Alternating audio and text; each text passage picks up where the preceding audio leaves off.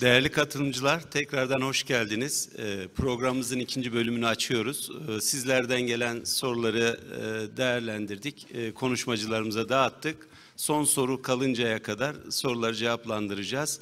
Ee, Öncelikle sözü e, sevgili hocama vermek istiyorum. Buyurun hocam.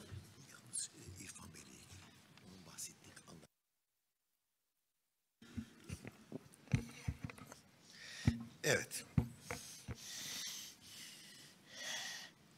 Ee, Tijen kalenderin bir sorusu var. 2017-18 yılı inceleme kapsamındayız. Mü- uyumlu mükellef indiriminden yararlı uygulamasından yararlanmak mantıklı mıdır? Değil midir? Nasıl olsa matrah farkı bulacaklardır. Yani nasıl olsa bir şeyi bulacaklar yani. Onun için bir de buradan e, bir ödeme çıkmasın size. Ee, Sayın Şişman'ın sorusu var. Ee, kuruluş sermayesi yeni kurulan şirket için konulan nakdi sermayesine indirim hesap, hesaplanabilir mi? Hesaplanabilir. 2019'da kurulan şirketin indirimi 2019 yılına ait beyannamede mi indirim konusu yapılacak? Doğru. Yani 2019'da kuruyorsanız şirketi zaten ilk beyannameyi 2020 yılında vereceksiniz demektir. 2020'de vereceğiniz beyannamede kuruluştaki ödenen nakdi sermaye üzerinden yararlanabilirsiniz. Ee, 2018 yılında ortak e, e, ortaklar isim yazmamış. Ortaklara borçlar hesabı firmanın almış olduğu yönetim kurulu kararı ve Cumhurbaşkanı kararı ile TL'ye çevrildi. Fakat firmamıza ortak olan firma 2019 yılında bile döviz olarak para göndermeye devam ediyor. Bence gönderebilir. Bir e, engel yok. Ee, burada bir sakınca yok. Ancak buradaki tek e, şey hal- hala dövizli işlem yapıyorsanız kur farklarının yarın öbür gün inceleme elemanları tarafından hani sizin dövizle işlem yapmanız e, mümkün değildi denilerek kur farkı gi- giderlerinin reddedilmesi söz konusu olabilir. Eğer bir kur farkı gideriyle de karşılaşma ihtimaliniz yoksa bence orada bir e, sakınca yok gibi. Eee Sayın Ayşin Hangül, e, vergiye uyumlu mükellef indirimi için tüm koşullar tamam sadece dördüncü dönem geçici vergisi ödenmedi. Yararlanabilir miyiz? Yararlanamazsınız. Ee, Sayın e, Serkan Kalkan'ın sorusu var. Mükerrer 121'e göre 2017 yılında kurumlar arası beyannamesinde %5 indirimden faydalandık. E, iade çıktı. E, Sonra mahsup ettik ama bu arada 2015 yılında geç ödenen bir vergiden dolayı yüzde beş indirim hakkımız yakıldı diyor. 2018 beyannamesinde mahsup ettiğimiz vergiyi geç ödeme durumunda yüzde beşlik indirime etki yapacak bir durum yoktur. 2018 yılında yararlanabilir miyiz? İ- 2015 yılındaki geç ödemenin 2018 beyanı üzerine yararlanmayla bir ilişkisi yok. Dolayısıyla e, 2017 ve 2016'da herhangi bir geç ödeme söz konusu değilse beyannameden doğan vergi borcunun e, 2018 beyannamesi üzerinden e, uyumlu mükellef indiriminden yararlanabilirsiniz. İsimsiz bir soru var. E, 2017 Aralık'ta sermayemizi nakit olarak arttırdık. E, tescili 2017, ödeme de 2017'de oldu ama 2017'de nakit sermaye indiriminden faydalanmadık. 2018'de faydalanabilirsiniz. Yani bu bir tercih meselesi değil. Yani şirket tercihini 2017'de yararlanmama yönünde kullandı. Demek ki artık yararlanamaz diye bir yorum yapılamaz. Dolayısıyla e, 2018 ve izleyen yıllarda bu 2017'deki nakit arttırım tutarı üzerinden e, faiz indiriminden yararlanabilirsiniz. Sayın Şaban Çeliker'in e, sorusu var. Nama yazılı, e, hamile yazılı hisseli senetlerini bastırmak zorunluyken nama yazılı senetler e, bastırılması zorunlu değildir şirketlerde e, diyor Sayın Çeliker. Geçici ilmi haber çıkartırsak bu e, sorunu aşar mıyız? Geçici ilmi haber çıkartırsanız sorunu aşarsınız. Zaten e, iki yıl içerisinde devir halinde vergi dışı kalma, verginin konusuna girmeme olayı yani gelir vergisi kanunu mükerrer 80 açısından da e, elinizdeki kağıdın hisse senedi mi, ilmi haber mi olduğunun bir önemi yok. Hamile yazılı hisse senedi içinde ilmi haber çıkarabilirsiniz. Yani e, ticaret kanununa göre hisse senedi bastırma zorunluluğunuza uyup uymamış olmanızın yaptırımı ticaret hukukuyla ilgilidir. Vergi inceleme elemanını zaten ilgilendiren bir konu değildir. Ama vergi inceleme elemanı açısından, vergi müfettişi açısından önem taşıyan nokta devrettiğinizin bir ilmu haber veya hisse senedi olup olmadığıdır. Dolayısıyla ilmu haber bastırdıysanız hiçbir sorun yok. Ticaret kanununa göre ilmu haberlerde hisse senedi niteliğindedir. Filiz Başoğlu'nun bir sorusu var. Kurumlar vergisi mükellefin mükellefi e, iki ortağı varmış yüzde 50'şer olarak. Türk ortağı huzur hakkı ödeniyor. Her ay bu ortağa ayrıca bonus ödemek istiyoruz. Türk ortak aynı zamanda genel müdür olarak çalışıyor. Bonus ödemesini vergilendirmede nasıl dikkate almak gerekir? Bonusu da ücret olarak dikkate alacağız. Hele genel müdür olarak da çalışıyorsa zaten ücrete hak kazanıyor demektir. Ee, ücretin prim, bonus vesaire çeşitli adlar altında ödenmiş olması onun ücret niteliğini değiştirmez diyor zaten Gelir Vergisi Kanunu 61. maddesi. Dolayısıyla ücret olarak her ay ne kadar bonus alıyorsa onu da bordrosuna ekle, eklemek suretiyle vergilendireceğiz. Ee, yine isimsiz bir soru var ama önceden çalışılarak hazırlanmış böyle bilgisayarda yazılmış falan filan gibi ve arkası da noter tasdikli galiba. Bir, e, şöyle bir kağıt görebilirsiniz. Resmi bir soru olarak algılıyorum. Ee, Limite şirketin ortağı ve yetkilisi tarafından denetimlerde temsil yetkisi verilen vekalet inceleme elemanca kabul edilmemektedir. Çünkü inceleme elemanının kabul etmediği vekaletnameyi e, eski ortak vermiş ve şu anda ortaklıktan ayrılmış. Dolayısıyla or, e, vergi incelemesi sırasında ortaklıktan ayrılmış bir kişinin ortaklığı temsil etmek ve ortaklık adına tutanak imzalamak e, üzere vekaletname vermesi zaten mümkün olmadığından dolayısıyla yeni müdürden vekaletname almanız gerekiyor. Burada inceleme elemanının e, görüşü doğru. Kaldı ki zaten e, limite şirketin e, yetkilisi dediğine göre eski müdür. E, dolayısıyla burada e, tabii o şirketin ortağı ve yetkilisi diyor. Eğer eski müdür müdürlük sıfatına haiz olarak e, imza sirkülerine dayanarak bir vekaletname verdiyse o vekaletname geçerlidir. Dolayısıyla ortaktan ayrılmış olup olmamasının herhangi bir önemi yoktur. Yeni müdürden vekaletname almaya gerek yok. Ama eski ortak ortak sıfatıyla verdiyse vekaletnameyi o vekaletname geçerli değildir. Yani vergi müfettişinin görüşünü buna göre değerlendirmek lazım. Yoksa mesela şimdi e, İş Bankası'nın yönetim kurulu başkanı değişti. E, eski yönetim kurulu başkanı ve genel müdürün Sayın Ersin Özünce'nin verdiği vekaletnameleri geçersiz mi kabul edeceğiz? Onlar da geçerli. Çünkü neden? İşlemi yaptığı sırada ortaklığı temsil yetkisi vardı. O yetkiye dayanarak yapılmış işlemler yeni müdür veya ortak tarafından kaldırılmadıkça geçerliliğini sürdürüyor demektir. Sayın İbrahim Ayar'ın bir sorusu var. Geçmiş yıl zararlarının geçmiş yıl karlarına mahsubu e, kar dağıtımı olarak değerlendirilebilir mi? Değerlendirilemez. Çünkü e, hukuk aleminde ortağa geçen herhangi bir değer söz konusu değildir. Bu nedenle kar dağıtımı olarak değerlendirmek veya stopaja tabi tutulması söz konusu değildir. Sayın Mehmet Çapa'nın bir sorusu var. 2018 yılında kayyum olarak atanan bir şirketten alacağımız var. 2019 yılında mahkemece bu şirketi tasfiyesine karar verildi. Bu mahkeme kararına dayanarak alacağımız için karşılık ayırabilir misiniz? Hayır. Sizin alacaklı olduğunuz şirkete kayyum atanıp atanmadığı veyahut da tasfiyesine karar verilip verilmediği bizi hiç ilgilendirmez. Bizi ilgilendiren şey bu alacağınız için siz cebri takibe geçtiniz mi? Yani bu şirket aleyhine icra takibi başlattınız mı?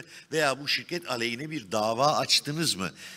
Dava açma veya icra takibi şartları yerine gelmedikçe şirket ister kayyıma devredilmiş olsun, ister tasfiyeye girmiş olsun şüpheli alacak karşılığı ayırma hakkımız olmaz. Dolayısıyla icra veya dava takibi olmadığı sürece şüpheli alacak karşılığını ayıramazsınız. Personel icra dosyalarında Sayın Tijen Kalender'in bir sorusu var yine. Personel icra dosyalarına personelin kazandığı dosyalardan icra dairelerine yapılan ödemelerin e, personelin kazandığı dosyalarda herhalde kaybettiği dosyalarla olması lazım. İcra dairesine yapılan ödemelerin içerisinde yer alan avukat ve e, vekalet ücretleri için tarafımıza iletilmeyen makbuzlarda KDV ve stopaj yükümlülüğü var mıdır? E, icra dairesine avukat tahsilatı yaparken kendi geliriyle ilgili bir makbuz vermek zorunda. İcra dairesinden de o makbuzu alabilirsiniz ama zaten orada KDV veya stopaj olup olmayacağı tartışmalı ama o tartışmalara hiç girmiyorum. E, idarenin görüşü görüşü KDV stopajın da olduğu, KDV'nin de olduğu yönündedir.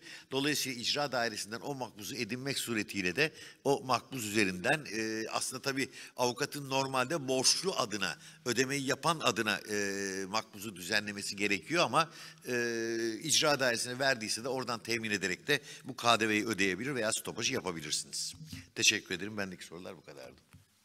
Teşekkür ederim. Buyurun İrfan Bey.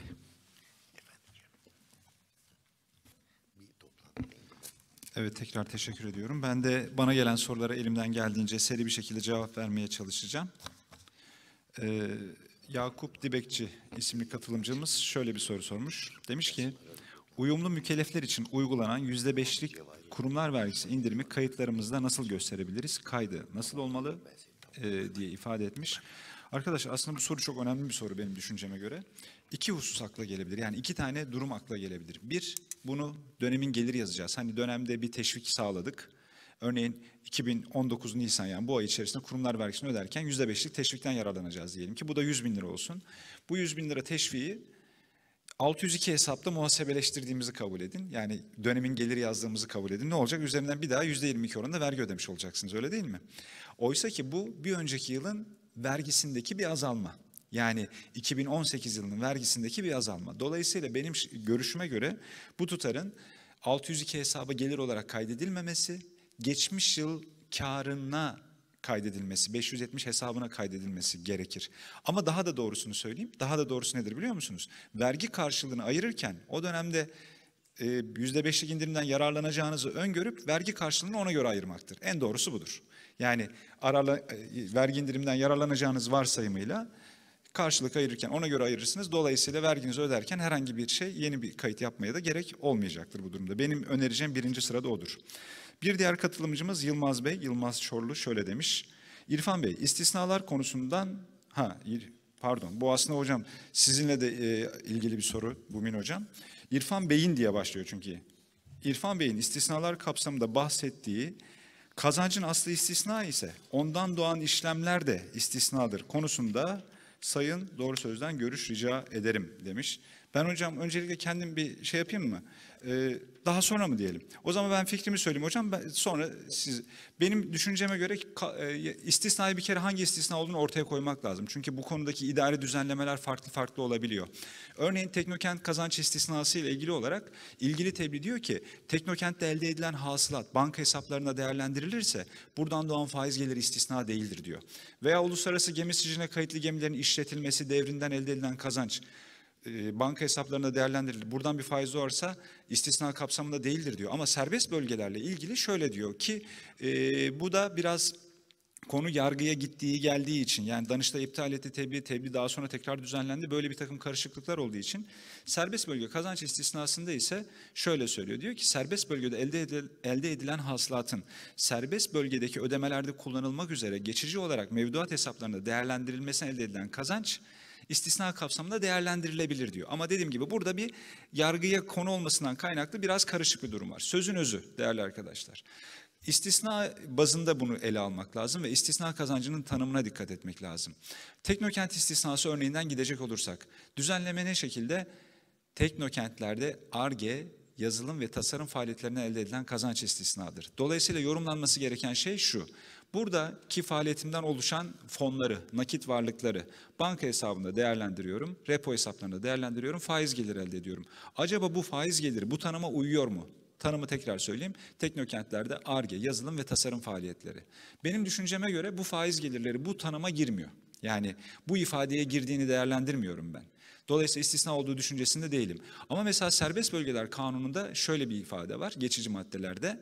E, faaliyet ruhsatı müsait olan mükelleflerin serbest bölgede elde ettikleri kazanç kurumlar vergisinden istisna. Zannederim aradaki farka dikkat çekebilmişimdir. Yani kazancı böyle kısıtladığı yer olabilir, kazanç genel olarak istisna olabilir. Benim düşünceme göre her e, istisna bazında ayrı ayrı değerlendirilmesi, tanıma girip girmediğini yorumlanması gerekiyor. Bir diğer soru Cem Yıldırım isimli katılımcımız sormuş.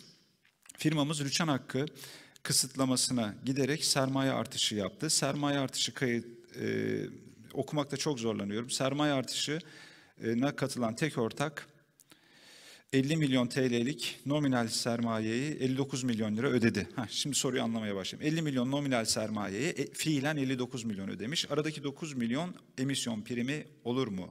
İlgili hesapta 600 ilgili yılda 679 hesaba alıp işleme tabi mi tutmalıyız diye devam ediyor ama okumakta zorlanıyorum. Anladığım kadarıyla cevap vermeye çalışayım. Değerli arkadaşlar, anonim şirketlerin kuruluşlarında veyahut da sermayelerini artırdıkları sırada sermayeleri temsil eden hisse hisselerin itibari değeri üzerinde satışı biliyorsunuz hisse senedi ihraç primi, diğer ismiyle emisyon primi. Çok da doğal bir olaydır. Yani bir şirketin sermayesini 1 milyon arttırdığınızda bu 1 milyonu İlla da piyasada 1 milyon olarak satılması söz konusu değil. Çok daha yüksek fiyatlarla satılabilir. Çünkü şirketin bir know-how'u var, bir marka değeri var, geçmişi var. Dolayısıyla şirketin nominal hissesi uygulamada çıkartıldığı aşamada, çıkartıldığı aşamada daha yüksek bedelle satılabilir. Bu hisse senedi ihraç primidir ve de kurumlar vergisinden 5. maddenin 1. bendi Ç bendi uyarınca istisnadır. İstisna olduğu için de e, yani soruya bu şekliyle cevap verebilirim. 679 diye ifade etmiş arkadaşımız. İşte bu noktada bir e, duraksama yapmamız gerekiyor. Çünkü hisse senedi ihraç primlerinin, emisyon primlerinin e, hesabı 679 değil. Doğrudan bir öz kaynak hesabı biliyorsunuz. 520 hisse senedi ihraç primleri ya da hesap kodunu yanlış söylemiş olabilirim. Neticede hisse senedi ihraç primleri hesabına kaydedilir. Bakın burada çok özellikli bir durum var. Şimdi hisse senedi örneğe göre 9 milyon hisse senedi ihraç primi var. Ne olacak bu? 600'lü hesaplara değil, gelir tablosu hesaplarına değil, doğrudan öz kaynak hesabına kaydedilecek. Haliyle e, netice itibariyle dönem ticari bilanço kar, karına da yansımamış olacak. Yani 690 dönem kar zararına gitmemiş olacak. Dolayısıyla böyle bir hisse senedi ihraç priminin, emisyon priminin yıllık beyannamede beyanı büyük önem arz ediyor. Şöyle ki ticari bilanço karınızda bu rakam gözükmeyeceği için eğer bunu istisna olarak düşerseniz büyük bir hata yapmış olursunuz. Örnek vermek gerekirse ticari bilanço karı 1 milyon lira, hisse senedi ihraç birimi de 500 bin lira diyelim ki. O 1 milyondan 500'ü düşüp de istisna olarak 500 bin matrah beyan ederseniz büyük, ederseniz büyük hata olur. Çünkü o 1 milyonun içinde hisse senedi ihraç primi yok. 500 doğrudan öz kaynak hesabında olduğu için haliyle önce eklemek daha sonra da istisna olarak düşmek gerekiyor. Ayşin Hanım şöyle bir soru sormuş. Ee, bilançolardaki 296 hesapta izlemenin akıbeti ne olacaktır? Evet. Çok arkadaşlar çok özellikli bir soru. Kısaca yorumumu söyleyeceğim. 296 hesap. Yani şu anda yayında var ama söylemekten çekinmiyorum. Ee, 296 hesabın kullanılması bir muhasebe doğru kelimeyi seçmeye çalışıyorum. Muhasebe ayıbıdır diyeceğim. Yani muhasebe ayıbıdır. Şimdi düşünün şirket 10 milyon kasasındaki bakiyeyi düzeltti e, tebliğde izin verdi. Dedi ki bu 10 milyonu illa gider yazmak zorunda değilsin. 296 gibi geçici bir aktif hesapta bekletebilirsin. Tamam bekletelim olur tebliği söylüyor. 296'ya yazdınız. Şirketin aktifinde 10 milyon liralık bir olmayan bir şey var. Öyle değil mi? Yani böyle bir şey olabilir mi? Çünkü bütün rasyoları buna göre hesaplıyorsunuz. Bir dakika öz kaynağı buna göre hesaplayacaksınız. Yani bu şirket ihaleye girerken öz kaynak oranını bu bilançoya göre çıkartacaksınız. Ya da bu banka e, şirkete kredi veren banka buradan çıkan rasyolara göre kredi verecek. Böyle bir şey olabilir mi? Olmaz. Yani bence olmaz değerli arkadaşlar. Akıbeti nedir? Oraya gelelim. Şimdi eleştiriyi geçeyim. Gelelim akıbetine. Biraz daha hani neler yapılabilir e, dikkat çekeyim. Biliyorsunuz bu gider yazmayı tercih e, e etmeyen mükelleflerin uyguladığı bir yöntem. 296 hesabı kullandılar. 296 hesabın ne yazık ki çıkışında itfası belirtilmedi. Ben mesela bu düzenlemeyi yapsaydım şöyle derdim. 296 296'ya izin veriyorsam da derdim ki bu hesap örneğin 5 yıl içerisinde eşit yüzdelerle itfa edilir derdim. 5 yıl içinde eşit yüzdelerle itfa edilirken de oradaki tutarlar kanundan kabul edilmeyen giderlere eklenir derdim mesela. Ama bu da yapılmamış. Yani itfası da ne yazık ki belli değil. Yani bir aktif varlık var, itfa süresi yok. Böyle bir şey bence olmaz. Yani yani yayın olduğu için e, böyle ifade et, biraz da sınırlayarak ifade ediyorum. Yani böyle bir şey olamaz arkadaşlar. Çok net yani olmamalıydı. Peki ne yapabilir mükellef? Bu olmayan itfaiye artık mükellef kendisi inisiyatifinde kendi ihtiyaçları ve kendi bilanço değerleri doğrultusunda yapacak. Örneğin eğer bu 296 problem oluyorsa bankalar sormaya başladıysa bir dakika kardeşim ya senin 296 hesabın diye bir şey var bizi her seferinde yanıltıyor. Şu bilançonu bir düzelt gibi bir zorunluluktan kaynaklı bu hesapların düzeltilmesi gerekiyorsa da kısım kısım onu gider yazıp kanunen kabul edilmeyen gider aynı zamanda muhasebeleştirip bitirebilirsiniz. Bir seferde yapmak zorunda değilsiniz. Beş seferde yapmak zorunda değilsiniz. Çünkü itfa süresi belli değil ya. İstediğiniz zaman yaparsınız. Bunu yaparken de öz kaynak oranlarınıza bakarsınız. Tutuyor mu, tutmuyor mu? İşte borca batık olacak mıyım bunu yazınca? Ya da rasyonda bir sıkıntı olacak mı? Bakarsınız. Mevcut sınırlar dahilinde işinize uygun olduğu şekilde yapabilirsiniz diye düşünüyorum. İbrahim Bey'in bir sorusu var. İndirimli kurumlar vergisi oranından yararlanmak için leasingli yapılan yatırımlar engel teşkil eder mi? Hayır, teşkil etmez. Leasingli yapılan yatırımlarda da indirimli kurumlar vergisi uygulanması mümkündür. Yani bu anlattık ya değerli arkadaşlar teşvik belgeli yatırımlarda indirimli kurumlar vergisi. İlla da satın almak gerekmiyor. Finansal kiralama yoluyla alınan, yapılan yatırımlar da indirimli kurumlar vergisine konu edilebilir. Burada sadece şöyle bir detay var. Yaptığımız yatırım harcamasına ödediğimiz kiraları dikkate alırız. Yani o yatırım kiraladığımız şeyin toplam bedelini haklar hesabına kaydettiğimiz toplam bedeli değil de ödediğimiz kira kadar üzerinden hesaplama yaparız. Bir diğer ismini vermek istemeyen katılımcımızın sorusu şöyle. Aslında sorulara isim de yazmamışlar da sorular beni buldu. Personel avanslarında taksite bağlanan ödemelerde adat yapmak gerekir mi? Personel avanslarında taksite bağlanan ödemelerde adat yapmak gerekir mi? Avans ödemeleri ücret niteliğinde değerlendirilip stopaja tabi tutulmalı mıdır? Sondan başlayayım. Avans personele ücretine mahsuben avans ödüyorsak, bakın tekrar altını çizerek söylüyorum. Ücretine mahsuben avans ödüyor isek, evet stopaja tabidir. Çok net. Neden? Çünkü 94. madde diyor ki gelir vergisi kanunu 94. madde aşağıdaki ödemeler parantez içinde avans olarak yapılanlar da dahil stopaja tabidir diyor. Avans da olsa stopaja tabidir arkadaşlar. Avans ödemesi itibariyle stopajı gerçekleştirilir. Peki diyor, takside bağlanan ödemelerde adat yapmak gerekir mi? Bunu tam anlamadım ama eğer şöyle bir şeyse, personele avans verdim, üzerinde duruyor, e, maaşından da mahsup edemedim, rakam da oldukça yükseldi, şişti, personel bunu ödemekte zorlanıyor da taksite bağlıyorum bunu. Adat uygulamak gerekir mi? Yani bu ilişkili kişiden bir alacak değil, işin normal icabı gereği dahilinde. Tabii rakamsal boyutları önemli, net ifadede kullanmış olmayayım ama şu koşullarda gerek yok. Yani gerçekten personele kendi ödeyebileceği düzeylerde ücret e, şey avans verilmiş ve bunların taksite bağlanmışsa adat olması gerektiğini düşünmüyorum ama şöyle de algılanmasın kesinlikle. Kasa bakiyesini mesela 196'ya e, kaydeden bir firma düşünün. Ona, ona yönelik bir cevap değil elbette bu. Ee, Nejat İşsever isimli e, katılımcımız da şöyle sormuş. Bir mükellefim fabrika binası satın alıyor. Satış görüşmesinde satıcı firmanın kimyevi madde imalatı ile iştigal ettiği ve satılan yeri uzun süredir kullanmadığı başka bir yerde faaliyette olduğunu belirtiyor. KDV 17 4R şerhi konularak KDV'siz fatura kesiliyor. Tapuda işlem yapılıyor. Bazı pürüzler nedeniyle yerle ilgili bilgiler ediniyoruz. Arsada tapulu yer üzerine kaçak bina yapılmış. Ayrıca uzun süredir kiraya verilmiş. Bu bilgiler alıcı firmanın KDV'si aldığı faturayı olumsuz etkiler mi? Değerli arkadaşlar soru oldukça uzun ama ben kısaca özetlemeye çalışayım.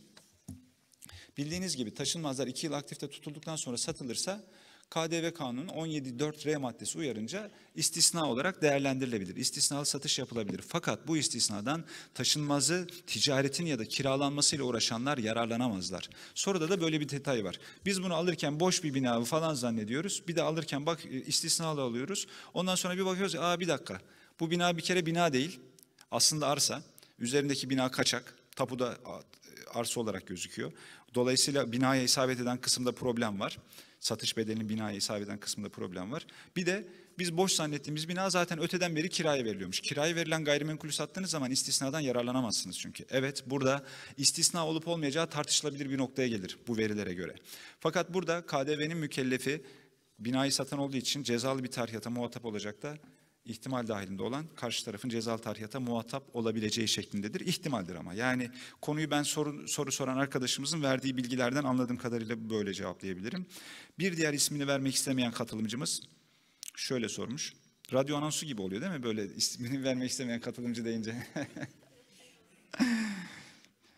Türkiye'de faaliyet gösteren iki şirketten biri diğerine yurt dışında parantez içinde Almanya'da yapılan bir uluslararası fuar, fuar için proje, stand ve danışmanlık hizmeti veriyor. E, hizmetten dolayı KDV ve kurumlar vergisi açısından istisnadan faydalanabilir mi? Güzel. Ben şöyle anladım soruyu. Türkiye'deki A firması Türkiye'deki B firmasına Almanya'daki fuarda e, yararlanması üzerine danışmanlık, ondan sonra ne bileyim oradaki stand desteği falan veriyor. KDV noktasını da söyleyeyim öncelikle. Değerli arkadaşlar, KDV'nin konusundan e, konusuna giren bir hizmet olabilmesi için, yani bir hizmette KDV söz konusu olabilmesi için söz konusu hizmetten e, söz konusu hizmetin Türkiye'de ifa edilmesi ve aynı zaman e, veyahut da söz konusu hizmetten Türkiye'de yararlanılması gerekir. Yani iki tane kriterimiz var. Ya hizmet Türkiye'de ifa edilecek ya da hizmetten Türkiye'de yararlanılacak. İkisi de yoksa bu hizmet KDV'ye tabi değildir. Benim bu olaydan anladığım, yani mesela bir e, stand hizmeti. Stand hizmeti nerede ifa ediliyor? Yurt dışında. Nerede yararlanılıyor? Yurt dışında. Stand hizmeti girmeyebilir. Ama danışmanlık diyor ya. Yani danışmanlık bu sorudan ben şöyle anlıyorum. Danışmanlık Türkiye'de ifa ediliyor fakat bu danışmanlıktan bizim firmamız yurt dışında yararlanıyor diğer firma. Ee, bu yönüyle baktığınız zaman danışmanlık için sanki KDV'nin konusuna girer gibi bir yorum yapabiliriz diye düşünüyorum. Sorudan anladığım kadarıyla KDV'nin konusuna girer. Öte yandan akla şu gelebilir. Bir dakika bu hizmetten yurt dışında yararlanılacak. Evet Türkiye'de ifade edildi ama yurt dışında yararlanılacak. O zaman KDV'den istisna olabilir. Hizmet ihracı vardır burada diye düşünülebilir. Fakat hizmetin alıcısı e, Türkiye'de yerleşik bir firma olduğu için o kapsamada girmeyeceğini düşünüyorum. Bir diğer soru yine ismini belirtmemiş katılımcımız. Hiç kimse belirtmiyor. Niye öyle oluyor arkadaşlar? Yani aslında ben böyle isimleri de merak ediyorum bir yandan. Neyse cevaplara devam edeyim. Verilen ve alınan avanslarda geçici dönem ve dönem sonlarında kur değerlemesi yapılır mı? Konuyla ilgili hangi tebliğ dikkate alınmalı? Teşekkür ederim demiş. Değerli arkadaşlar Maliye Bakanlığı alınan avanslar olsun, verilen avanslar olsun bu tutarlara borç ve alacak gibi bakıyor. Yani borç ve alacakların değerleme hükümleri neyse verilen ve al- alınan avansların değerleme hükümleri de aynı haliyle kur değerlemesine tabidir. Kur değerlemesi yapılması gerekir.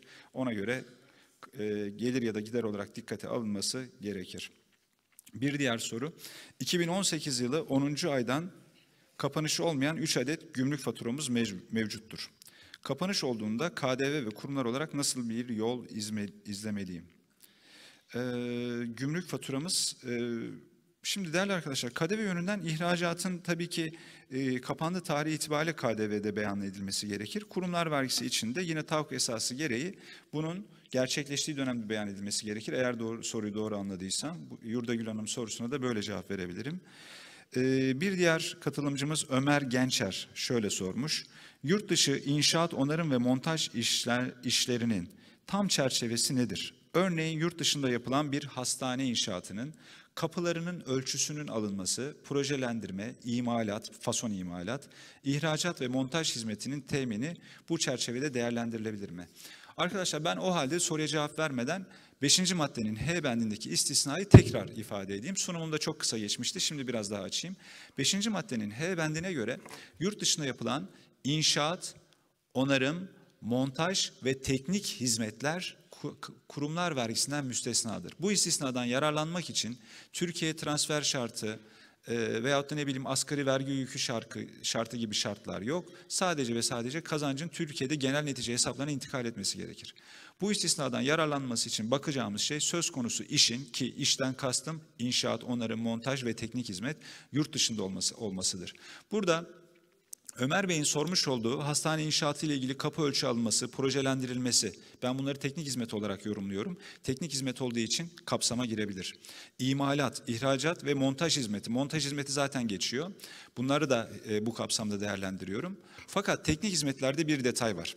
Mesela inşaat yaptığınız zaman yurt dışında e, bu hastane binasını bir, birebir siz yapıyorsanız zaten orada bir şantiye kuracağınız için şantiye birebir iş yeri olarak kabul edilir ve işin yurt dışında olduğu oldukça açıktır. Ama teknik hizmet noktasında yani projelendirme falan gibi teknik hizmet noktasında işin yurt dışında yapıldığını nasıl ortaya koyacaksınız? Çünkü projeyi buradan e, yazıp buradan çizip oraya gönderebilirsiniz. İşte bunun için e, kuru- kurumlar vergisi genel tebliğimiz teknik hizmetlerde istisnadan yararlanılabilmesi için yurt dışında mutlaka bir şube, bir iş yeri ya da bir daimi temsilcisi olmasını zorunlu kılıyor arkadaşlar. Eğer bu koşulda sağlanıyorsa evet bunlar istisnadır. Filiz Hanım şöyle bir soru sormuş. Kurumlar mükellefinin gerçek mükellef aracılığı ile yazılı ve görsel medya takip hizmeti almaktadır. Cümleyi tam anlayamadığım için bir daha tekrar etmem lazım. Kurumlar mükellefin gerçek mükellef aracılığıyla yazılı ve görsel medya takip hizmeti almaktadır. Bu hizmet tevkifata dahil midir ya da yeni çıkan kanun e, kapsamında, karar kapsamında daha doğrusu aslında stopaja tabi olması gerekir mi? Bir kurumlar vergisi mükellefi bir gerçek kişi aracılığıyla görsel medya takip hizmeti alıyor. Evet yani burada gerçek kişi olduğu için bakın yani hizmeti aldığımız kişi gerçek kişi olduğu için stopaja tabidir. Soruyu şöyle anladım ben. Kurumlar vergisi mükellefiyim ben. Bir bu işleri yapan, bu işlere aracılık yapan bir gerçek kişiden. Bunu e, Sayın Grup Müdürümüz Vefa Bey çok e, detaylarıyla anlattı. Gerçek kişi olduğu zaman stopaj olacak ama kurum olsaydı, tam mükellef kurum olsaydı olmazdı. Cihan Mete şöyle bir soru sormuş. Dövize endeksli satışlarda mal teslimiyle tahsilat arasında geçen sürenin takvim yılı atlaması ve oluşan kur farklı gel- gelirlerin hangi takvim yılı matrağına dahil edilecektir? Bu da özellikle bir durum arkadaşlar. Soruyu şöyle anlıyorum ben. Satışımız var döviz cinsinden fakat alacağı henüz tahsil etmedik. Alacak da bir sonraki yıla sarktı. Yani dolayısıyla arada bir dönem sonu geçti. Örneğin Ekim ayında satışı yaptım döviz cinsinden. Parayı ise Mart'ta tahsil ettim. Şimdi burada vergi usul kanunu değerleme hükümlerine göre dönem sonu itibariyle geçici vergi dönemleri veya yıllık dönem sonu itibariyle mutlaka bir kur değerlemesinin yapılması lazım. Yani söz konusu cari hesap 120 veya 320 neyse eğer bu bizim satışımızsa 120 hesabın döviz cinsinden 120 hesabın 31-12 itibariyle kur değerlemesinin yapılması lazım. O kur değerlemesi de gelir olarak dikkate alınmalı. Fakat bu tarih itibariyle henüz KDV doğmamıştır. Çünkü tebliğ çok açık ifade ediyor bunu.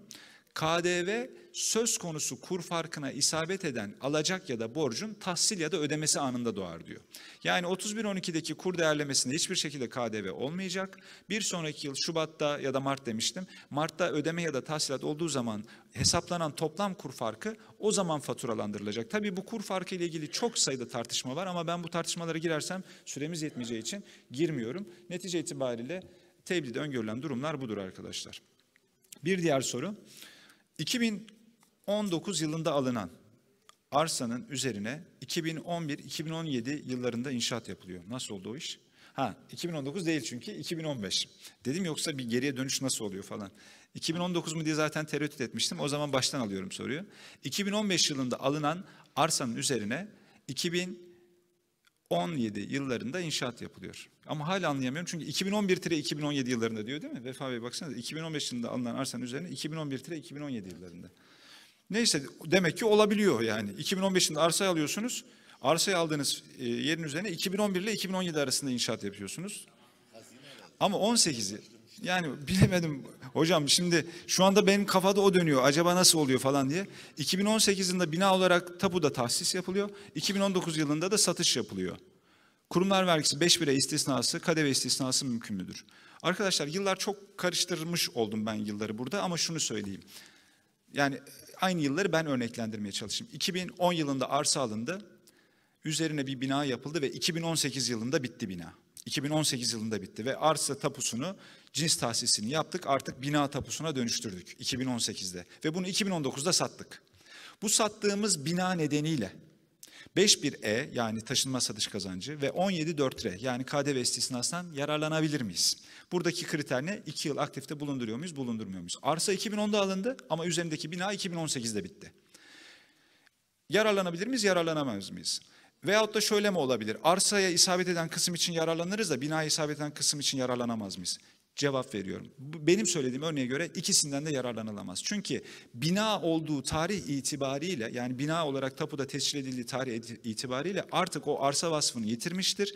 Yeni bir duran varlık halini almıştır. Yeni bir iktisaptır. 2018'dir onun edinim tarihi. Ondan sonra iki yılın geçmesi gerekir. Fakat tebliğlerde de şöyle açıklama var. Tebliğ diyor ki mesela arsa üzerine yapılan inşaat henüz inşaat halindeyse yarımsa yani daha e, bi- bina vasfını kazanmadıysa mesela aynı örnek böyle olsaydı henüz inşaat devam ederken satılsaydı o zaman satış bedelinin arsaya isabet eden kısımları için istisnadan yararlanılabilirdi. Bir diğer soru Müge Küçük hanımefendi sormuş. Kira sözleşme süresine bağlı olarak 5 yıl süreyle bir AVM'de kiracıyız. 5 yıl süreyle bir AVM'de kiracıyız. Kira alacağının dışında AVM'de dekor yaptığımız için 5 milyon alacağımız var. Öyle anladım. Yani kiraladığımız yere dekor yapıyoruz. Diyoruz ki bak bu dekorları ben yaptım. 5 yıllık sözleşmem var seninle. Bu dekorda ben neticede yer senin yerin. Buradan da 5 milyon alacaklıyım diye anlıyorum eğer doğru anladıysam. 2018 yılında tahsil ettik. Aa, bir de 5 milyon tahsil etmişiz. Ve ne güzel iş ya vallahi harikaymış yani. Neresi hangi AVM'ymiş burası? Harika valla bugün böyle şeyler var mı yani yapıyorsunuz bir de parayı tahsil ediyorsun yani önceki sonraki yılların kirasına mahsup edin bile demiyorlar yani harika. Neyse ve Ağustos ayında kur dalgalanmalarından dolayı arada 1.3 milyonluk kur farkı doğdu ama tahsil etmişsiniz zaten niye doğsun ki? Ama tahsil etmişsiniz. 5 milyon doları tahsil etmişsiniz ki alacağınız borcunuz kalmamış. Ama o kur farkı siz o 5 milyon aldınız bankaya yatırdınız mesela. Bankadaki paraya mı kur farkı doğdu? İşte tamam banka o zaman soru çok basitleşti. Kur farkı doğdu. Normal şartlarda bu gelir 380 hesapta takip edilerek 5 yıl süreli sözleşme olduğu için aylık 649 hesapta gelirleşiyor. Bu kur farkı zararı 5 yıl boyunca giderleştirilir mi? Yoksa direkt giderleştirilmeli midir? Ben şimdi eğer şu tahsil ettiniz dediğinizde sorunun boyutu değişti. Çünkü tahsil ettiyseniz sizin cari hesabınız kapanıyor. Cari hesaba değerleme yapmıyorsunuz. Siz bankadaki nakit varlıklarınıza değerleme yapıyorsunuz ve nakit varlıkların değerlemesi de kambiyo karı ya da kambiyo zararıdır. Değerleme gününün sonları itibariyle kambiyo kar ya da zarar yazacaksınız. O nakit varlık şeklinde, döviz cinsinden nakit varlık şeklinde devam ettiği müddetçe. Bir diğer soru Abdullah Bey sormuş, Abdullah Parlak. Kat karşılığı yapılan bir inşaatta inşaat bitmeden satışlar yapıldı.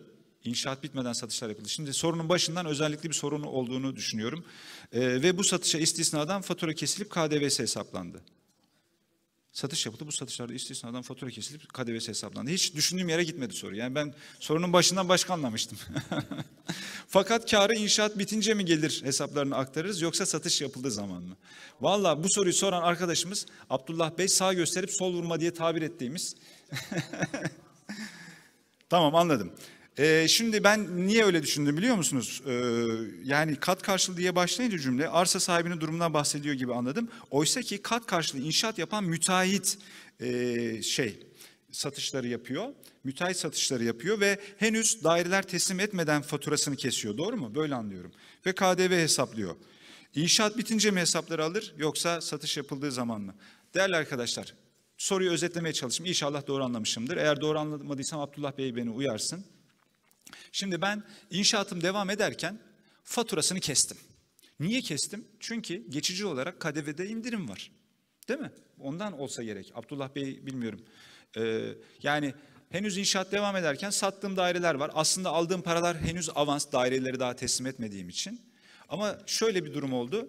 Ya bu daireler bugün yüzde 18 150 metrekareden büyükse mesela ya da işte emlak rayişleri ona göre ise yüzde 18 ben bunu önceden fatura edeyim de yüzde 8'den yararlanmış olalım. Çünkü Maliye Bakanı böyle özelgeleri var. Önceden fatura kesebilirsiniz henüz teslim olmadan. Tamam faturayı kestim. KDV indirimli olarak beyan ettim, gösterdim. Hiçbir problem yok. Buraya kadar hiçbir problem yok. Gelelim esas konuya. Peki faturasını kestiysen ben bunu gelir olarak dikkate alacak mıyım? Madem faturayı kestim 600 hesaba girecek mi? Bir dakika. Şimdi bir gelirin doğması için bildiğiniz üzere ne gerekiyor? Tahakkuk etmesi gerekiyor. Tahakkuk da nedir? Gelirin yani onu oluşturan gelirin mahiyet ve tutar itibariyle netleşmesidir. Burada netleşme var mı? Hayır yok. Çünkü hasılat tarafı belli ama maliyet tarafı belli değil. Ortada maliyet yok. Ortada maliyet olmadan gelir olmaz. Dolayısıyla henüz teslimini gerçekleştirmediğimiz bu faturaları gelecek yılın geliri olarak izlemek ve satış gerçekleştiğinde, gerçekten teslim gerçekleştiğinde, maliyet oluştuğunda, maliyetiyle birlikte gelirini hesaplamak çok daha doğrudur. Mahmut Şişman isimli katılımcımız şöyle sormuş. Hizmet ihracı uygula, uygulayan götür gider hakkında yararlanabilir mi? Ha, hizmet ihracatı yapanlar götür giderden yararlanabilir mi diye sormuş. Şöyle düşünüyorum yani 40. maddenin bir nolu fıkrasında ihracat diye başlıyor cümle. Mal ihracatı diye bir kısıtlama olmadığı için eğer diğer unsurları da sağlıyorsa neden olmasın? Yani yurt dışında belgelendiremediği gideri varsa bu kapsamda neden olmasın diye cevap verebilirim. Tijen Hanım bana da sormuş hocam. Vallahi size zaten size de mi var? Tamam. Çok iyi. Tijen Hanım burada mı? Yoksa böyle kod... Öyle mi? Hemen Tijen Hanım'ın sorusuna cevap vereyim. Götürü gider uygulamasında yurt dışına çıkan arkadaşlarımızın belgelendiremediği harcamalar için götürü gider uygulamasını kullanıyoruz. Çok doğrudur. İhracatın binde beşi üzerinden bu koşula e, bozulmadan direkt indirim konusu hakkı mevcut mudur? Risk taşır mı? Tamam. Soru çok güzel bir soru arkadaşlar. Tijen Hanım'ın sorusu gerçekten özellikli bir soru. Yani sorduğu kadar var yani onu diyebilirim. Şunu soruyor anladığım kadarıyla. Şimdi ihracatta götürü gider var. E, binde beşi aşmamak kaydıyla belgelendiremeyen giderlerin binde beşini şirketler defterlerini gider olarak kaydedebilirler. Tijan Hanım da şunu soruyor. Diyor ki ben bunu defteri gider olarak kaydetmesem de gelip beyannamede ihracatın binde beşini hesaplayıp beyannamede örneğin diğer indirim ve istisnalar satırına yazsam riskli midir diye soruyor. Bana sorarsanız risklidir arkadaşlar. Neden derseniz götürü gider indiriminin düzenlendiği kanun maddesi gelir vergisi kanunun giderler başlıklı 40. maddesidir. Yani yeri bile belli. Bu bir gider olarak kaydedilmelidir. Gider olarak kaydedilmeli. E, gider e, olarak kaydedilmesini şuradan da ortaya koyabiliriz. Çünkü ifade şu, düzenlemenin mantığı şu. Belgelendiremediğiniz bir takım giderleriniz var. Orada yasa size şu hakkı veriyor. Evet bunu belgelendiremezsen bile dikkate alabilirsin hakkı veriyor. Yani size ortada bir gider yokken matrahtan bir indirim hakkı tanımıyor. Eğer öyle olsaydı bir istisna düzenlemesi, bir indirim düzenlemesi yapardı. Bu konuyla ilgili Maliye Bakanlığı'nın görüşü de benim söylediğim şekildedir. Fakat yargı kararlarına da değinmek lazım. Yargı kararlarında tam tersi yargı kararı var. Yargı kararları bunun bir hak olduğunu, mükelleflerin beyanname üzerine indirilebileceğini söylüyor. Mahkemeyle vesaireyle uğraşmak istemiyorsanız defterinize gider yazınız. Öyle yani biz bir kalemde yazabilirsiniz. Öyle gider oluştu sürekli yazacaksınız falan diye de bir şey yok. Yani beyannamede göstermektense e, şeyde gösterin, defterde gösterin. Kaldı ki eğer yani bu belgelendiremediğiniz gideri bu, bu vesileyle işletmeden olan çıkışı da muhasebeleştirmiş olursunuz. Yani kasa hesabındaki çıkışı da göstermiş olursunuz. Aksi takdirde kasa hesabınızda gereksiz yere yüksek bakiye gösterir. O nedenle benim önerim kesinlikle deftere gider kaydedilmesidir. Hocam onu da ben şöyle yorumluyorum. Şimdi vergi usul kanunda 181. maddede belgelendirilmesi mu- e, belgelendirme kuralının istisnaları 3 istisnasından biri olarak yorumluyorum. Yani götür gider indirme o 3 istisnasından biri olarak yorumladığım için ben ona bir aykırılık teşkil etmediğini düşünüyorum. Bir diğer soru. E, yurt dışı inşaat işleri kapsamında yapılan inşaat işi e, için iş yeri açılışı gerekliliği konusunda bilgilerinizi rica ederim. Yurt dışında inşaat işi yapmak için yurt dışında bir iş yeri açmam gerekiyor mu, gerekmiyor mu? Tabii ki bu tamamıyla ilgili ülkenin mevzuatıyla alakalı arkadaşlar. Bazı ülkelerde bırakın iş yeri açmayı, orada şirket kurmanız gerekiyor. Yani öyle şube falan da açamıyorsunuz. Örneğin Kazakistan'da e, çok da emin olmamakla beraber şöyle zannediyorum. Kazakistan'da bir inşaat işi alırsanız orada bir şirket kurmanız lazım. Yani iş yeri de değil ayrı bir tüzel kişilik kurup ona siz Türkiye'den ortak olmanız lazım. Dolayısıyla bu tamamıyla ilgili ülkelerin mevzuatına göre bu zorunluluk belirlenir. Ama 5.1H'deki istisna uygulaması açısından önemli olan şey söz konusu işin yurt dışında olmasıdır. Şimdi iş yeri zorunluluğu var mı sorusunu şöyle bağlayalım. Yurt dışında inşaat işi yaparsanız şantiyeniz olmadan inşaat işi yapabilir misiniz? Yapamazsınız değil mi? Şantiye vergi usul kanunu 154. maddesine göre iş yeridir zaten. Anlatabiliyorum değil mi demek istediğimi? Zaten şantiye bir iş yeridir. Yani istemeseniz bile açılmış oluyor dolayısıyla. Ama teknik hizmet için, teknik hizmette bunu gösteren somut bir kriter olmadığı için tebliğimiz diyor ki mutlaka yurt dışında bir iş yeri veya da daimi temsilci olacak diyor. Son soru bendeki Selçuk Fırtına sormuş. Teknopark'ta faaliyet gösteren bir anonim şirket Burada faaliyette bulunduğu süre içinde kullandığı giderlere ait KDV'yi indirim olarak kullanabilir mi? Not, KDV iadesi talep etmeyecek kurum. Yani şimdi şöyle bir şey demeyeyim yani e, iadede problem çıkar demeyeceğim yani o anlamda. Kurum kazancı tespitinde nasıl davranılmalıdır? Değerli arkadaşlar teknokentlerde bazı yazılımların, bütün yazılımların değil bazı yazılımların teslimi KDV'den istisnadır. Örneğin askeri komuta, muhasebe yazılımı gibi yazılımlar KDV'den istisnadır. Bu istisna 31.12.2018 tarihine kadar kısmi istisnaydı. 1-1-2019'dan itibaren geçerli olmak üzere ise tam istisna oldu. Aradaki farkı biliyorsunuz. Kısmi istisna olduğu zaman bunların satışında evet istisna uygulayacaksınız ama bu hizmetleri, bu yazılımları üretirken gerçekleştirmiş olduğunuz alımlardaki KDV'yi ise indirim hakkını kaybedecek idiniz. Dolayısıyla 2018'in sonuna kadar olan dönemde teknokent firmaları eğer istisnalı satış yapıyorlarsa bu istisnalı satışlarına isabet eden, tümü değil, bu istisnalı satışlarına isabet eden alışlarındaki KDV'yi ilave edilecek KDV yapmaları gerekiyor idi. Ama 1-1-2019'dan itibaren bu istisna artık tam istisna oldu. Günümüz e, mevzuatı itibariyle, bugünkü koşullar itibariyle bu KDV'yi kesinlikle ilave edilecek yapmasına gerek yok. İndirim hakkında herhangi bir e, sıkıntı yok değerli arkadaşlar. Ben bu vesileyle bana sorulan soruları cevaplamaya çalıştım. Tekrar teşekkür ediyorum. Çok sağ olun. Teşekkür ediyoruz. Ee, Söz sırası Sayın Akta. Buyurun. Üçüncü soru. Bir, iki.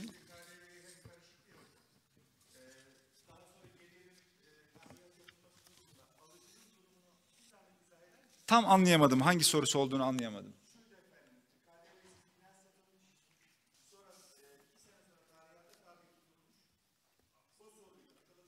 KDV'siz bina satılmış, iki sene sonra tarihata tabi tutulmuş.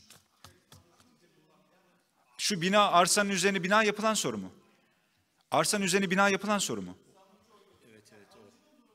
Tamam. Arsanın üzerine bina yapılan soruyu tekrar açmaya çalışayım o zaman. Ee, e, Vefa Bey'in de müsaadesiyle, izniyle.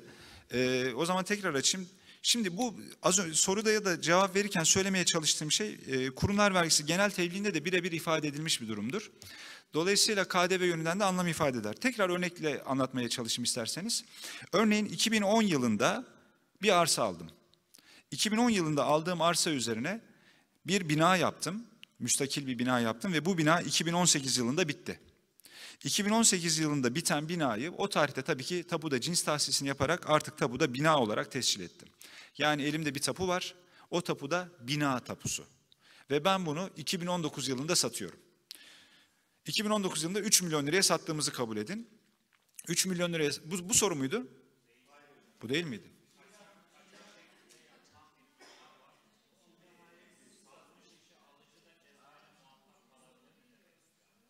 Kaçak bina ben hiç hatırlamıyorum ya. Çok pardon, çok özür dilerim. Buyurun. Şuradan bulabilsem aslında. Buyurun lütfen söyleyin. Mikrofon yok mu? Ya yayına gitmiyor da o yüzden.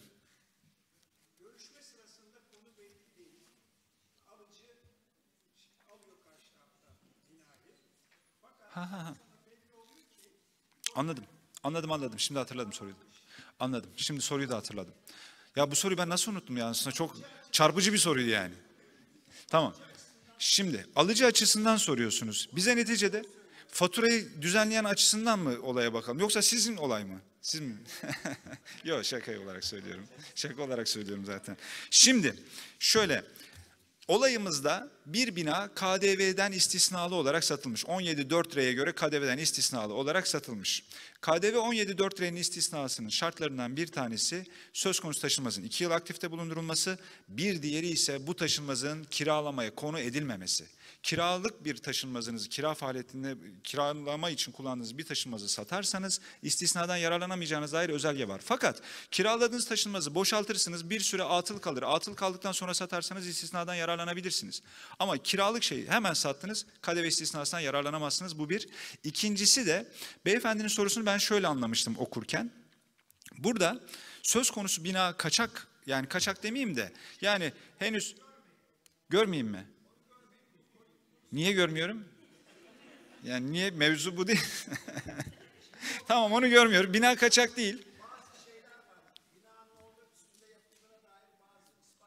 Anladım. Neyse bina neticede bir şekilde bina olarak tescil edilemiyor bir gerekçeyle değil mi?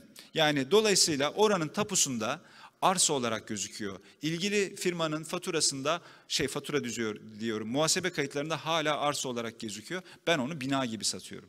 İşte burada e, şu gerekçeyle netice itibariyle o iki yıl aktifte tutma şey, e, süresinde o binaya dönüşmesi, dönüştü mü dönüşmediği gibi e, tereddütlerden dolayı, yeni bir edinim sayılıp sayılmayacağı noktalarından dolayı bir tereddüt olması gerektiğini düşünüyorum ben.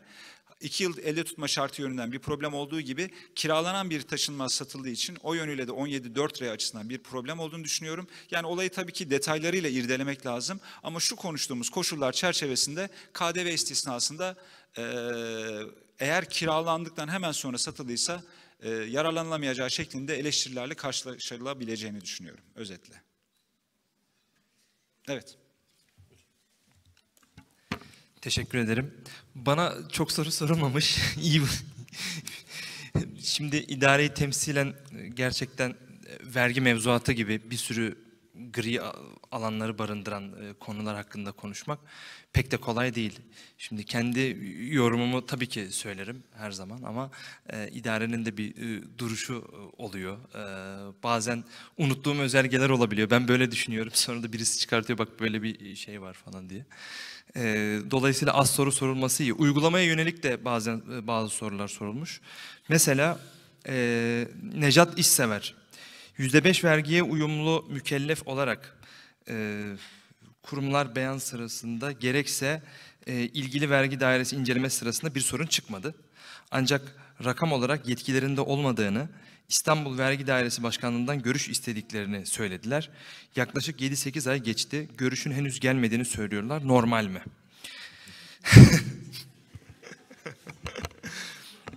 ben bu soruyu şöyle anlıyorum. %5 vergi indiriminden dolayı herhalde bir iade doğmuş. E, bu bilmiyorum yani geçtiğimiz sene bu tutar 1 milyonla sınırlıydı. Bu sene 1 milyon 200 bin lira oldu herhalde. Bizde e, her türlü vergi türünde iadeler e, belli bir e, uygulama iç genelgesinin e, çizdiği çerçeveyle e, yerine getiriliyor. E, 1 milyon üzeri iadeler mesela bize geliyor. Mesela ben kurumlar vergisi grup müdürüyüm. 1 milyon TL'ye aşan iadeler bize geliyor. Yetki sınırı bizde değil dediği e, muhtemelen e, rakamsal bir şey olabilir. Ancak hani bir de e, gri bir nokta olabilir. Onu e, belki e, açabilirsiniz burada. E, şöyle bir konu olmuştu. E, Damga vergisiyle ilgili bir konu olmuştu. E, Damga vergisi biliyorsunuz e, sürekli damga vergisi mükellefleri var veya ihtiyari olarak damga vergisi e, beyannamesi verenler yani ve bu konuda talep edenler var. E, damga vergisi beyannamesi verilmesi gerekmeyen e, dönemlerde de bizim eski uygulamamız biz bunu bize bildirmelerini istiyorduk mükelleflerden. Şimdi bunu da istemiyoruz.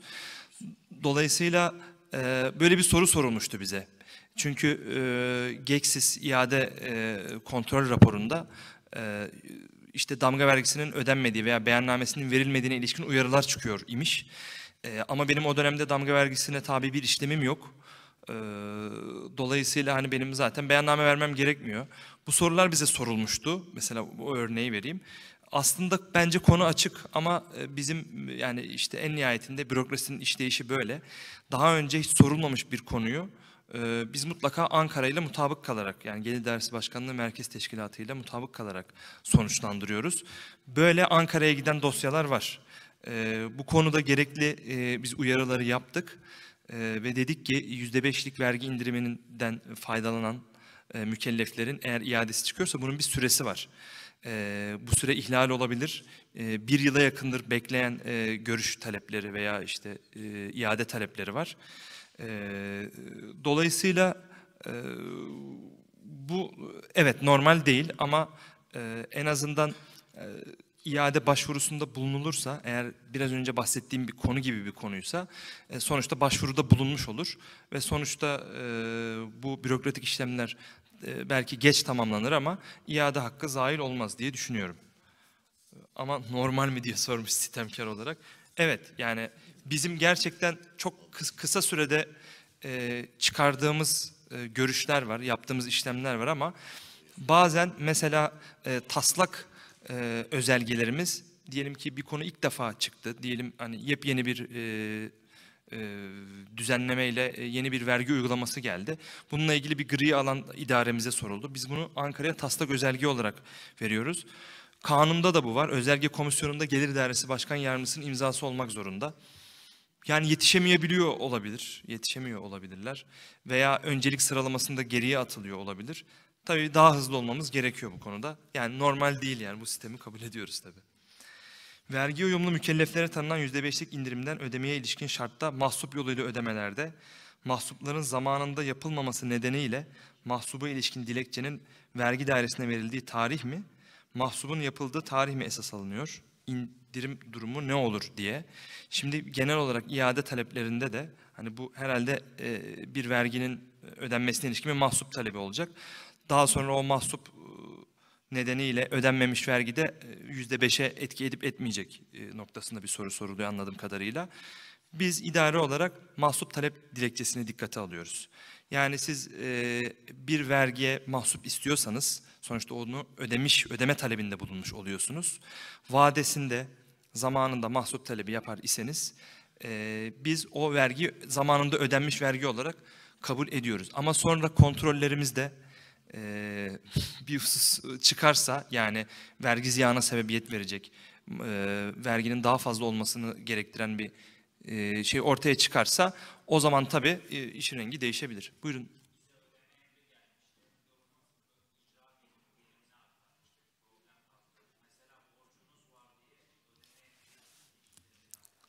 Evet. Evet, borcunuzun Evet evet çöz- çözülecek bir konu. Yani bizim uygulamamız bu konuda net. Tabii e, hatalar yapılabilir. Ödeme emirleri gelebilir e, yoğunluktan dolayı veya e, bazı daireler e, böyle uygulanmıyor zannediyor olabilir ama bu konuda uygulamamız net. Mahsuben iade talep dilekçesi tarihine bakıyoruz. Bu da e, biraz gülümsetiyor beni ama e, benle de yani Gelir Kurumlar Grup Müdürlüğü ilgili değil ama birebir de içindeydim bu konunun. SMM'lere verilen KDV iadesi yetkisi konusunda bir gelişme var mı? Ben şöyle bir idarede hani e, çok da şey yapmadan e, şahit oldum.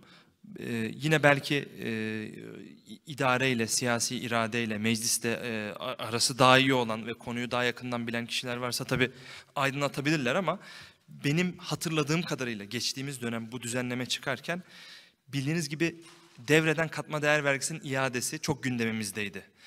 Ee, benim hatırladığım ve anladığım, bildiğim kadarıyla e, serbest muhasebeci mali müşavirlere verilen bu KDV iade yetkisi de buna paralel olarak çıkartılacaktı.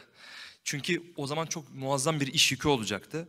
Buna da ne vergi inceleme elemanları ne de yeminli mali müşavirler yetişemeyecekti. E, böyle olacaktı diye hatırlıyorum. Ama o dönemde ne olduysa ben hatta e, KDV grup müdürüyle karşı karşıya odalarımız biz takip ediyorduk bu konuyu.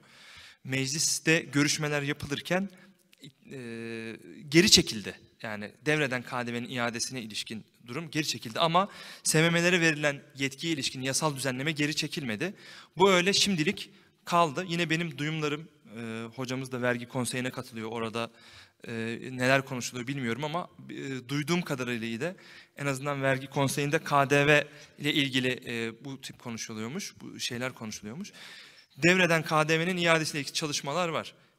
Bence o eğer gerçekleşirse e, SMM'lere verilen KDV iadesi yetkisinde de bir gelişme olacağını düşünüyorum. Yine Tijen Kalender sormuş. Yurt dışında ödenen verginin mahsubuyla ilgili bir soru e, bu. E, yurt dışında ödenen e, verginin mahsup edilmesi için cari ödeme şartı tabii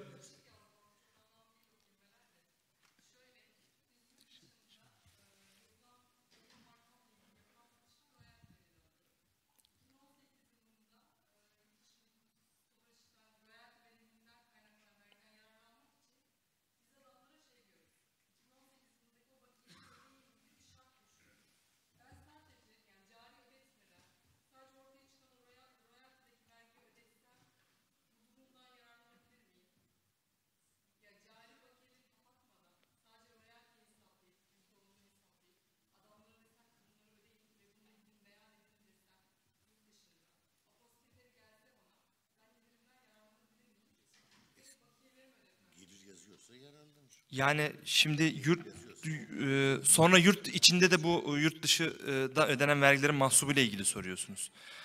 Yani e, şimdi benim bildiğim e, kurumlar vergisi kanunu uygulamasında yurt dışında ödenen vergilerin mahsubu 34. maddeye göre mümkün. Şimdi benim de, benim de önümde açık. E, e, tabii ki siz tam mükellefseniz e, ve e, vergilendirme döneminizde yurt dışında ödediğiniz ve bizim 34. madde kapsamına da giren bir e, vergi söz konusuysa o dönemde cari dönemde tabii e, ödediğiniz kurumlar vergisi mah, e, şeyine mahsup etmeniz gerekir diye düşünüyorum. Ama royalty bedelini de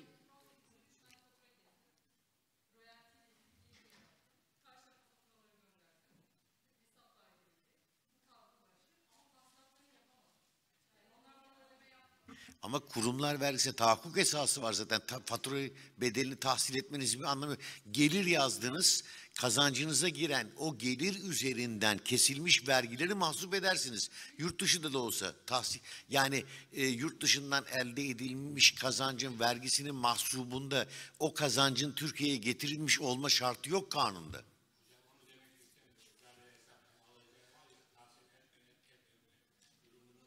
Tahsil etmeseniz bile gelir yazdıysan o zaman düşemezsiniz yani. Ödenmemiş bir vergiyi nasıl mahsup edeceksiniz kurumlar vergisi?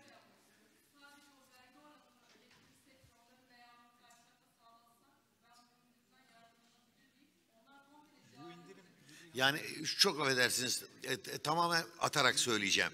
Ben e, Almanya'ya 100 euroluk faturayı kestim. O 100 euro üzerinden e, gelir kaydettim.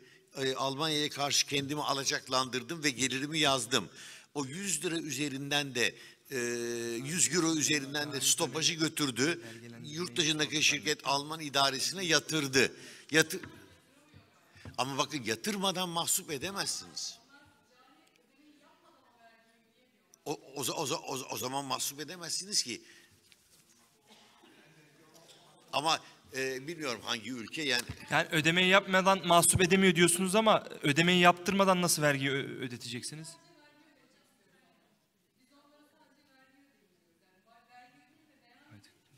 Ama şimdi az önce şey dediniz ya.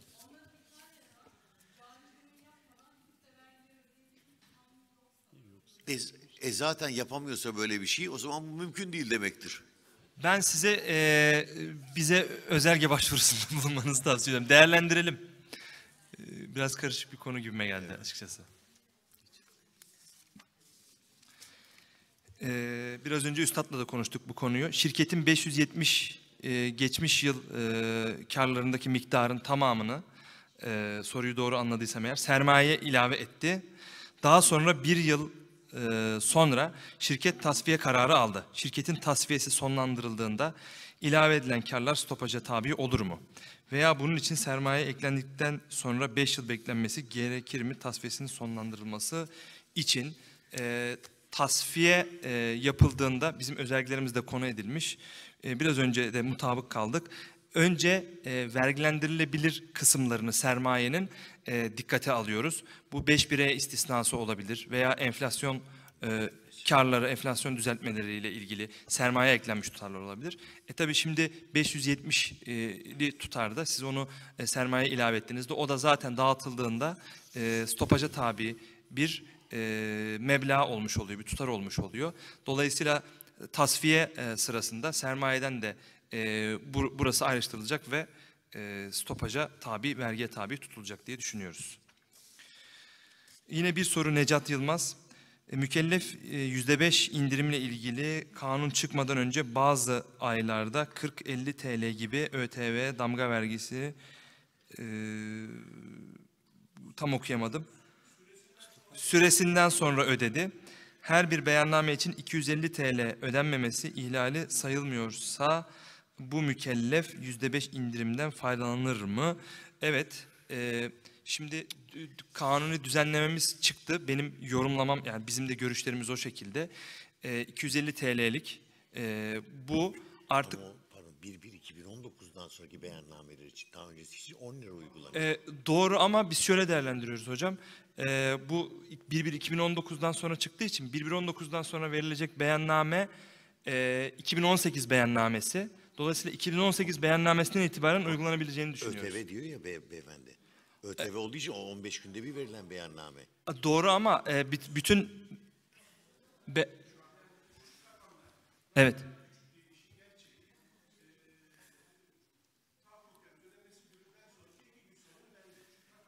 Ne, ne zaman ver veriyorsunuz o beyannameyi? E, e, tabii 2017 ise 10 liraya tabi. Hocam biz şöyle düşünüyoruz. Bu konu bize sorulmadı henüz. Hayır ama öyle değil. Evet. Ee, İnteraktif Evet, vergiler. onu da belirteyim. İnteraktif vergi dersinden bu soru. Benim görüşümü söyleyeyim. Hocam katılmayabilir. Ee, bu kanun uygulaması e, bir kere 250 TL her bir beyanname bazında verginin ödenmesi gerekiyor. Dolayısıyla bu e, 40-50 TL'lik tutarlar bu şeyin altında. Kanunun uygulanmasıyla ilgili olarak da şöyle düşünüyoruz. Ee, bu kanun evet 1-1-2019'da çıktı ama e, biz 1-1-19'dan sonra verilecek beyannamelere uygulanmak üzere diye düşünüyoruz. Dolayısıyla mesela şimdi 2018 beyannamesini vereceksiniz. E, e, kanunun şartı da beyannamenin ait olduğu yıl ve daha önceki iki yıl e, dediği için benim düşüncem bu 250 TL'lik tutar için 2018, 17 ve 16 yılları dikkate alınması gerektiğini düşünüyorum.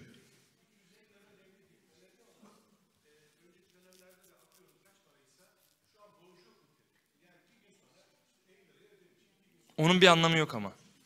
Ya maalesef. olabilir. Mesela ben çok bilmiyorum. Ee, Sosyal Güvenlik Kurumu mevzuatı uygulamasında %5'lik indirim var. Ha, orada arkadaşlarım, çalışan arkadaşlarım var. İdari düzeyde de gerek şef düzeyinde de var. Onlar bizdeki uygulama çok daha basit diyorlar. Hemen kapattırıyoruz borcunu. Süre daha kısa. Bizde ne yazık ki böyle değil. Yani şu anda hiç borcu olmayabilir ama işte geçtiğimiz dönemde e, borcu varsa, beyannamesini süresinde vermemişse. Ya mesela benim Evet yani biraz e, şey benim e, bizim Ankara'ya önerilerimizden biri bu, bu 10 TL'lik haddin e, yükseltilmesiydi. Bir de tecil terkin uygulaması ile ilgili gerçekten çok sıkıntılar oluyordu. E, yani benim elimde olmayan sebeplerle ben ihracatımı gerçekleştiremedim. E, KDV kanununda diyor ki 3 ayda gerçekleştiremezsen ek sürede yoksa 15 gün içinde bunu işte öde diyor. Ben bunu senden gecikme zammıyla alırım diyor. E oradan da işte süresinde ödenmemiş bir vergi ortaya çıkıyor gibi. Ee, aynı şey şöyle de düşünüyorum. E, beyanname bazen sekebiliyor bir gün. Ee, ve yine tutar 250 TL'den fazla da olsa mesela diyelim ki 500 TL. O da çok büyük bir tutar değil bazı büyük firmalar için. Ama e, işte bankaya vermişler. Banka hata yapmış. Ee, diyelim ki işte 27'si son ödeme tarihi. 27'si aslında akşamı bankaya yatırmış adam ama e, veya 27'si sabah neyse. Banka onu 28'de 29'unda yatırmış. Ee, bu konularda da belki bir şey getirilebilir e, gibi düşünmüştük. E, ama şu anda şimdilik bu kadar esnetilebildi. Her bir beyanname. Nakit sermaye artırımında indirim müessesesiyle ilgili olarak gri alan olan kar dağıtımı sonrası Gökhan Yıldırım bu arada sormuş bu soruyu. Kar dağıtımı sonrası dağıtılan karın nakdi olarak sermaye ilavesinin vergi incelemesi sonucu tespiti ne gibi cezai tarihiyatla muhatap olur? Biraz önce not aldım ee, e, bu soruyu, bu soruyla ilgili. E, sanıyorum yanlış hatırlamıyorsam bununla ilgili örnek özelgemiz de var aslında. 2017 yılında verilmiş. Biraz önce onu not almaya çalıştım.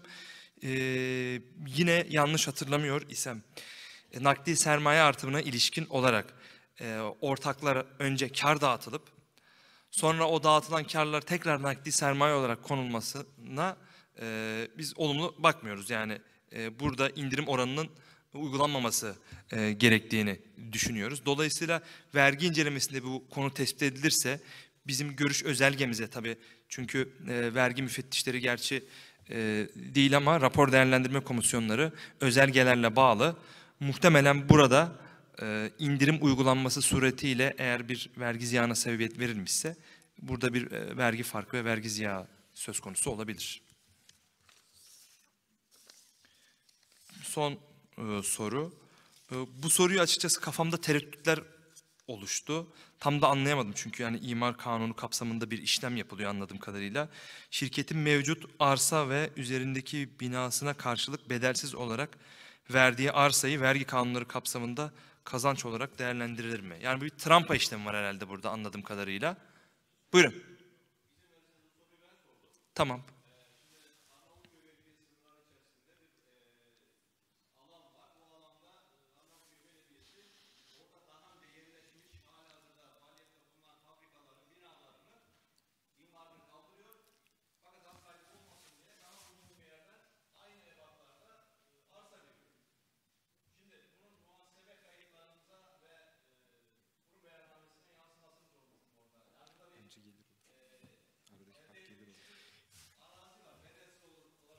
Evet.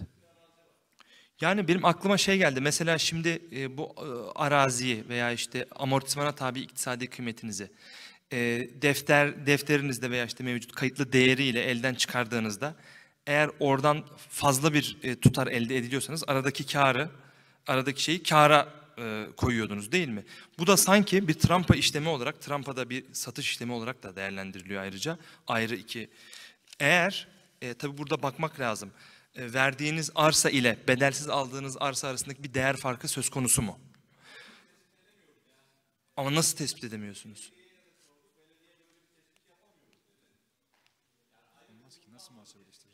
O zaman, yani değeri olmayan bir şey muhasebe edilmesi mümkün değil ama bir e,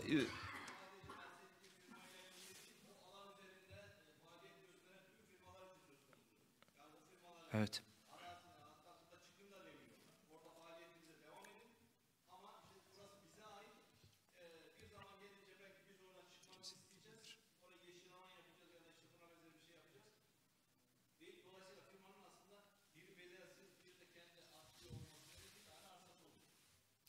Peki yani bir firmanın e, kayıtlarında bu e, bunlar kayıtlı değil mi? Kayıtlı değerleriyle.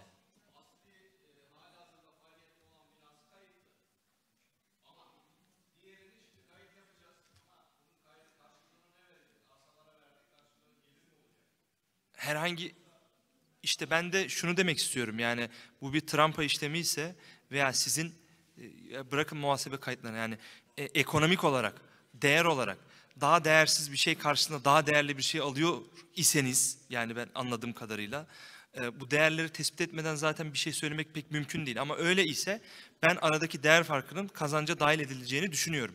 Ama hani e, benim anladığım kadarıyla bilemediğimiz dinamikler var orada. Çünkü benim bildiğim e, herhangi bir arsanın, arazinin çünkü oradan bir emlak vergisi alınıyordur herhalde yani onun üzerinden. En azından emlak vergisi değeri olması lazım. E, dolayısıyla e, o değerler karşılaştırılarak e, bir değerlendirme yapılması gerektiğini düşünüyorum. E, yine kocam diyor özelge talep edebilirsiniz ama e, yani ekonomik e, işlemler hani muhasebede ben çok ahkam kesmeyeyim gerçekten burada ama muhasebede hani parayla ölçülme diye bir değer var. Yani bu işin parasal mahiyetini, girdisini, çıktısını, karını, zararını bilmeden bir değerlendirme yapmak çok sağlıklı olmayacak diye düşünüyorum açıkçası.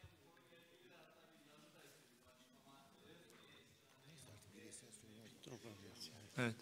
Yani dediğim gibi yani bu işin e, parasal e, değersel e, boyutunu e, bilmek lazım diye düşünüyorum. Teşekkür ediyorum. Sayın Aka çok teşekkür ediyorum. Değerli katılımcılar bir sorumuz kaldı. Değerli hocam ona cevaplandıracak. Ee, bir bana atılan bir top vardı ona e, cevap vereyim. Sayın Yılmaz Çorlu'nun sorusu. Bir de başka bir şey daha ekle söyleyeceğim.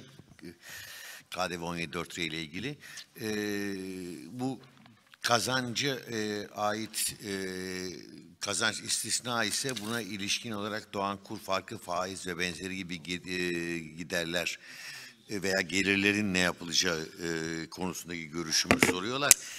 Benim şahsi kanaatime göre vergicilikte ilke bir e, şeyin aslı hangi rejime tabi ise onun fer'ilerinin de aynı rejime tabi olması gerekir. Uzun yıllar Türk vergi sistemi bu ilkeye sahip çıkmıştır. Yani bir kazanç vergiden istisnaysa o kazanca bağlı faiz ve kur farkları da e, vergiden istisnadır. Dolayısıyla kazanç vergiye tabi ise kur farkı ve faiz de vergiye tabidir. Uzun yıllar Türk vergi sistemi bu ilkeye sahip çıkmışken son yıllarda maalesef de bu ilkede bozuldu. Ee, istisnaya göre e, Maliye Bakanlığı duruma göre farklı farklı düzenlemeler getirdi. Örneğin e, uluslararası gemi sicilinde bu istisnaya uya, e, bu kurala uyar bir düzenleme getirirken uluslararası gemi sicili istisnasında oradaki kayıtlı gemiler için buna karşı yıllara yaygın inşaat ve işlerinde aksini benimsedi. Aldığınız istikak bedeli dövizi bankaya koyarsanız oradaki kur farkı vergiye tabidir dedi veya e, elde edeceğiniz faiz dedi. Yani ilke bozuldu. E, dolayısıyla her bir istisna için şu anda bakmak lazım mali idare nasıl uyguluyor diye. Yargıya geldiğimiz zaman yargı daha ziyade yine benim dediğim e, vergi hukuku temel ilkesine uygun kararlar veriyor. Eğer kazanç istisna ise kur farkı ve faizle vergiden istisnadır diyor. Ama bunun tek istisnasında yargı Danıştay 4. Dairesi serbest bölgeden elde edilen kazançlarla ilgili olarak e, bir karar verdi. Serbest bölgeden elde edilen kazancın bankada değerlendirilmesi sonucu elde edilen faiz veya dövizse kur farkı e, istisna kapsamında değildir dedi. Ama bu istisnai karar dışında yargı hala bu ilke doğrultusunda. İdari anlayış ise her bir istisna için o konudaki genel tebliğe bakmak gerekiyor. Çünkü artık ilke e, tamamen bozuldu. Bir de KDV 17.4R istisnası ile ilgili bir şey söylemek istiyorum. E, bu istisna biliyorsunuz gayri, iki yıl aktifte tutulan gayrimenkulün satılması halinde KDV var mı yok mu? Katma değer vergisi kanunu 17.4R yok diyor. Ama ne diyor? Gayrimenkul ticaretiyle uğraşanlar bu istisnadan yararlanamaz diyor. Peki gayrimenkul kiralamasıyla uğraşanlar o taşınmazı kiraya vermiş olanlar istisnadan yararlanabilir mi? Yararlanabilirler. Yargı da bu görüşte. Neden derseniz kurumlar vergisi kanunu 5.1'E'ye bakın gayrimenkul iştirak satış kazancı istisnasına orada ne diyor? Gayrimenkul ticareti ve kiralama işlemleriyle uğraşanlar diyor. Ama 4R'ye geliyorum sadece gayrimenkul ticaretiyle uğraşanlar diyor. Kiralama işiyle uğraşanlar demiyor. Dolayısıyla kanun koyucunun iki yerden birinde söylediği sözü diğerinde söylememesi diğer alanda bu şartı aramadığı anlamına geliyor. Dolayısıyla gayrimenkulü kiraya vermiş olanlar, kiralama faaliyetiyle e, uğraşanlar da benim şahsi kanaatime göre ve yargı kararlarına göre 17.4R'den e, yararlanabilirler. Genel tebliğdeki ya 5.1E'de gayrimenkul e, kiralamasıyla uğraşanlar yazıyor. Demek ki 17.4R'de de bunu aramak gerekir diyen genel tebliğ açıklaması bu açıdan tamamen kanuna da e, aykırıdır. Bu konuda zaten bir yazım var. O yargı kararlarını falan orada uzun uzun anlatmıştım. Yani e, görüşümün gerekçelerini gayrimenkul kiralama işiyle uğraşanların da gayrimenkul sattıklarında gayrimenkul ticaretiyle uğraşmamak kaydıyla istisnadan yararlanabileceğini benim e, işte mumindorusöz.com diye web sitemde o yazılarımı bulabilirsiniz. Dolayısıyla 17.4R istisnası kiralama faaliyetiyle uğraşanlar için geçerlidir. Teşekkür ederim. Ben teşekkür ediyorum. Değerli katılımcılar, bir programımızın daha, eğitimimizin daha sonuna geldik. Öncelikle konuşmacılarımıza katkılarından dolayı çok teşekkür ediyorum. En büyük teşekkürü de sizlere ediyorum. Akşamın bu saatine kadar burada kaldınız. E, Yeni dönemde e, tekrardan Cevahir eğitimlerinde görüşmek üzere. Hepinize iyi akşamlar diliyorum.